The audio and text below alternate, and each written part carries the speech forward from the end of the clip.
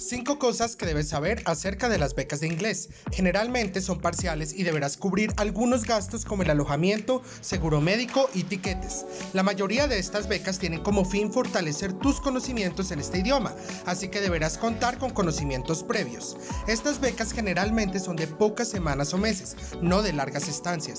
Ganar una beca de inglés no es tu única alternativa para aprender este idioma. Existen muchas más, incluso totalmente gratuitas. Existen numerosas plataformas formas, cursos, apps y hasta voluntariados donde podrás aprender este idioma.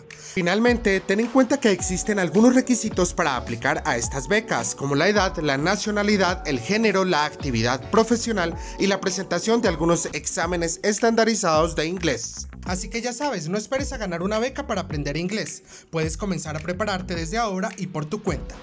Aprende cómo en vivirviajaramar.com.